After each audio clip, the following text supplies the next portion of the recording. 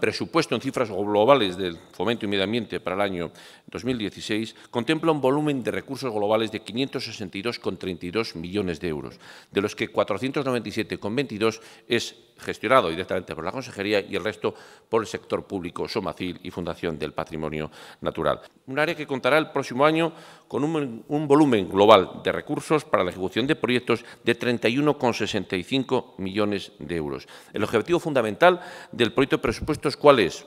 Todos lo saben por la exposición del programa de legislatura y por la política de esta Junta, que es reforzar el contenido social para atender aquellas situaciones de necesidad y ayudar a los que más lo necesitan, a los que más dificultades tienen en el acceso a la vivienda. La red de carreteras constituye uno de los ejes fundamentales, red de carreteras e infraestructuras de aguas.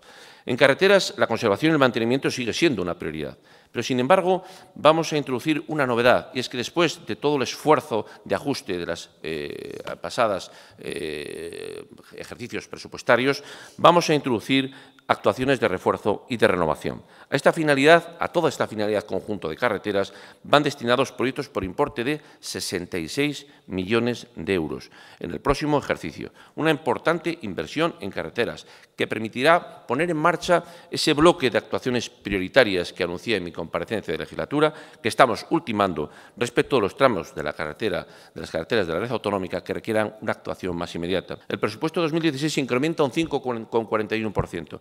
Llega hasta 16,5 millones de euros en presupuestos para como todo el mundo sabe, garantizar algo que es esencial y básico, un servicio público o un servicio instrumental para acceder a los servicios públicos básicos como es el transporte público de viajeros por carretera y que garantice, por lo tanto, esas condiciones de movilidad de los castellanos y leoneses y ese acceso en esos 95.000 kilómetros cuadrados de extensión a los servicios básicos.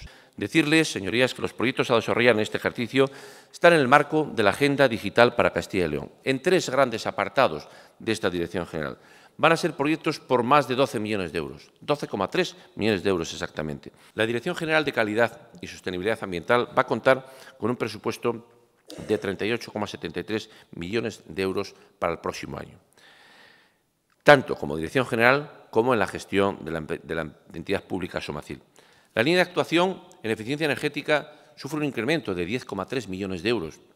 Contará con una dotación cercana a los 26 millones de euros para la ejecución, a través de la empresa pública, de proyectos de renovación de alumbrado público eficiente, la implantación de calderas de biomasa forestal, la construcción de redes de distribución de calor, district heating, para abastecer edificios públicos, todo lo cual contribuirá a objetivos europeos, nacionales y de comunidad. En el año 2016, esta Dirección General contará con recursos de 101,23 millones de euros, un 2,38% más que el presupuesto anterior, y con inversiones que suponen 82,5 millones de euros.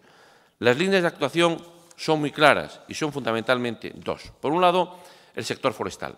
Actuaremos de forma intensa en la promoción y mejora de nuestro sector forestal, con especial atención a la lucha contra los incendios forestales, que constituye un ámbito prioritario para esta consejería. Destinaremos al sector forestal 74 millones de euros. En otro ámbito de actuación de esta Dirección General del Medio Natural, que es la de Patrimonio Natural, vamos a dedicar 8,5 millones de euros. En el ámbito de protección civil, la Dirección General la Dirección General de la Agencia de Protección Civil, y atención de emergencias, con un incremento de 2,75% del presupuesto respecto a 2015, va a contar con 11,77 millones de euros, casi 12 millones de euros. Un presupuesto que permite garantizar un sistema de protección y de seguridad ciudadana actualizado y acorde con las exigencias de nuestros ciudadanos.